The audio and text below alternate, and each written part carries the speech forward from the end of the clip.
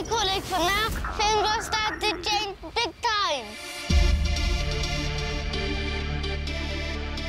We are going to work on quality. We will expand team significantly. More attentive to style and details, improve the collections. We want to be the most awesome brand and take over the world. We are SUPERREBEL for a reason. I count on your support.